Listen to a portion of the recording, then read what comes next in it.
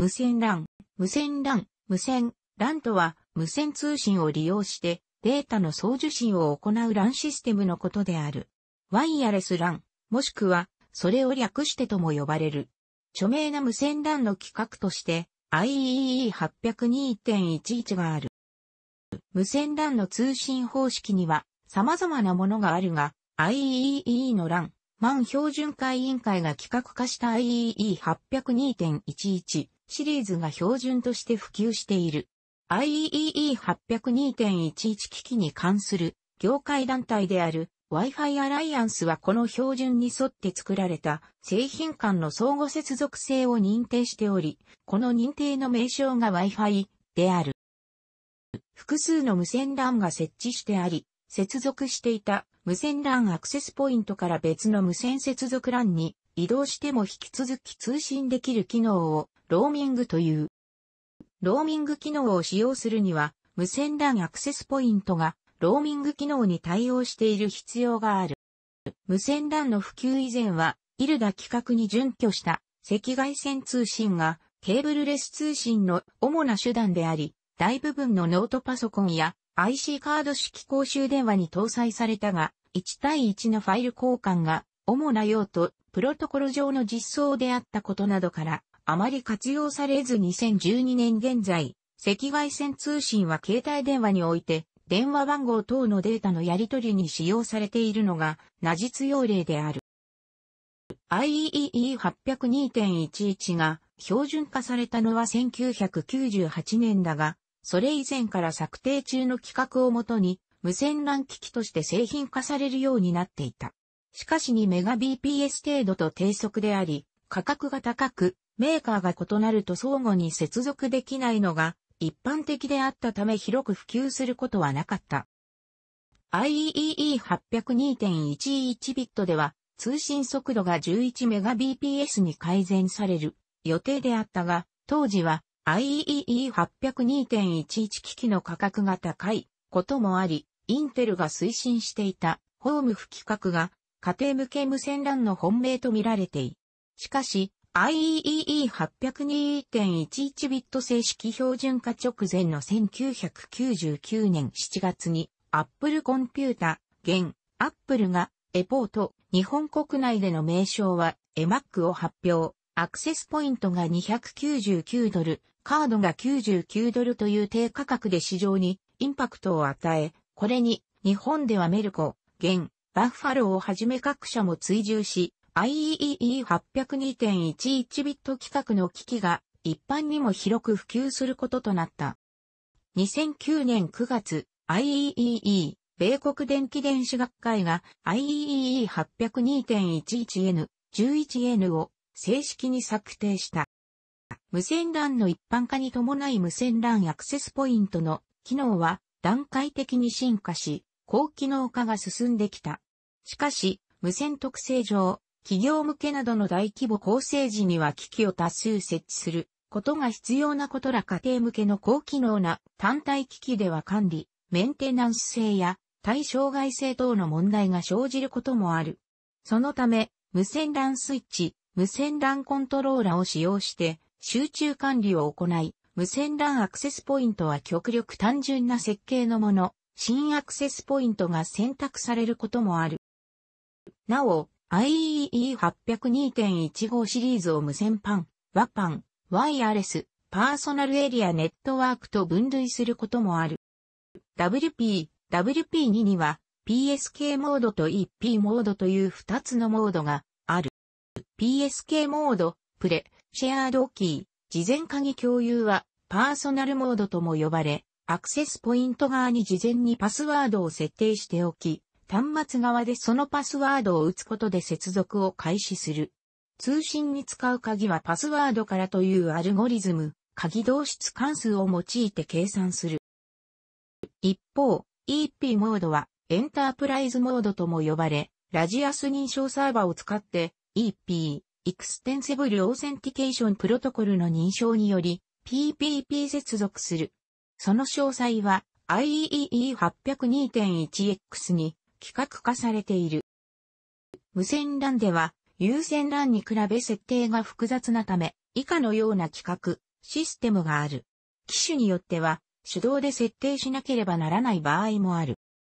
メーカーによっては IEEE802.11a、B、G との接続性を確保したまま独自の改良を加えた技術が存在する。高速化技術、圧縮、プロトコル最適化等としては、 Super AG、Super G、フレームスト、フレームバースト EX などが、到達エリア拡大技術としては、XR、 Extended Range がある、 Super AG、Super G、XR は、米 Qualcomm Atheros の商標。メーカーの独自拡張であるため、親機子機が同じメーカー製であり、両方が対応していないと効果はない。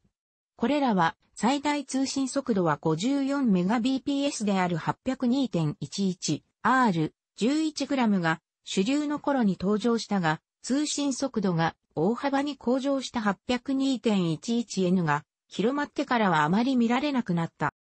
無線 LAN はその名の通り無線、すなわち電波によって通信が行われるという特性上、第三者によって通信内容を傍受される危険性がある。そのため、無線 LAN のアクセスポイントと通信を行う機器間とのセキュリティ対策が必要となる。例えば、ネットワークキーと呼ばれるパスワードを用いて通信できるコンピューターをそのネワークキーを知るコンピューターのみに限定させる方法がある。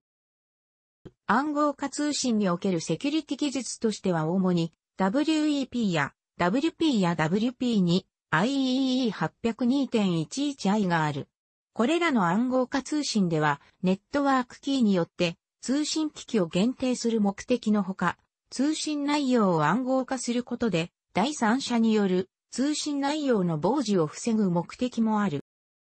近年は暗号化の解読技術が進み、WEP では10秒で解読できるという論文がある。また、暗号化とは異なるが、MAC アドレスによって通信できるコンピューターを限定させる手法も MAC アドレスの偽が技術上可能であることから、セキュリティ対策としては不適である。情報処理推進機構によると家庭用であれば、認証方式として WP に PSK、暗号化方式として ICE、CCMP を選択し十分な強度の共有鍵、大文字、小文字、数字、記号をすべて含み20文字以上を使いするべきであるという。なお、日本では、クラッキングなどの手法により、パスワードで保護されたネットワークに不正に侵入した場合、もしくは試みた場合は、不正アクセス行為の禁止等に関する法律に抵触する可能性ある。もっとも、パスワード設定されていない無線 LAN を利用するだけの行為、ただ乗りについては、刑事上の問題は生じない。弁護士の小倉秀夫によれば、かかるただ乗りは、不正アクセス行為に該当しないし、窃盗罪に問われることもないが、本来の利用者の使用を妨げるほどの帯域を使うような場合には、民事上の追及を受ける可能性があるとしている。アクセスポイントへの接続を公衆に提供し、インターネットへの接続手段を提供するサービスを公衆無線 LAN という。公衆無線 LAN には、ホットスポットやフリースポットなどがある。詳細はこれらの項目を参照。日本においては、1992年、平成4年に電波法令上のいわゆる省電力無線局の省電力データ通信システムの無線局とされ、技術基準が定められた。これにより免許は不要であるが、技術基準適合証明を要することとされた。なお、電気通信回線に接続するものは、電気通信事業法令の技術基準適合認定も要する。表示を要する事項と無線 LAN に関する内容は次の通りである。技的マークがなければ日本国内で使用してはならない。また、技術基準にはアンテナ系を除き、容易に開けることができないこととあり、特殊ネジなどが用いられているので、使用者は改造はもちろん保守、修理のためであっても分解してはならない。国内向けであっても改造されたものは、技術基準適合証明が無効になるので、不法無線局となる。ISM バンドを用いる公衆波利用設備からは、有害な渾身を容認しなければならない。最も普及している 2.4GHz 帯の機器の場合、稼働中の電子レンジの付近では、通信に著しい影響や出たり、通信不能に陥る。また、VIX、ETC、一般用、FIDO、アマチュア無線局機器など、無線局免許上、無線局登録を受けて運用する、無線局からの有害な渾身に対して、異議、排除を申し立てる権利は一切なく、逆に使用中止を要求されたら、利用者は従わねばならない。さらに、無線 LAN と同等の省電力無線局として、省電力用、FIDO、2.4GHz 帯デジタルコードレス電話、模型飛行機のラジコン、マルチコプター、Bluetooth などがあり、これらに対しては先に使用しているものが優先するが、実際には、渾身を完全に回避できるものではない。別ネットワークの複数機器が、アクセスポイント等でチャンネルが重なると、スループット低下などの影響を受ける。2010年、平成22年には、電波法の規定を超えた高出力の無線 LAN 機器を販売していたとして、大阪市日本橋の電気店が摘発され、経営者が逮捕されている。2009年、平成21年5月、アマチュア無線局 JF1 ダッキーが 5.6GHz 帯、10.1GHz 帯、24GHz 帯において IEE802.11 ビット G 方式の無線 LAN をアマチュア業務として運用できる無線局免許状を与えられた。設備は一般的に市販されている USB 無線 LAN アダプタで外部アンテナ端子がある機種2000円以下を用い、そのアンテナ端子にトランスバーター、周波数変換を行う機器を接続し 5.6GHz 帯、10.1GHz 帯、24GHz 帯での運用を可能にしている。